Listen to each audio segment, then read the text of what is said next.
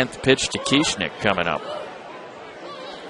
And here it comes. And it is swung out and hit high in the air to right and deep. And back is Romero at the track. He leaps and can't get it. It's gone. Roger Kieschnick on the 10th pitch of the at bat. Homers to right field, and Salt Lake leads it 2 to nothing.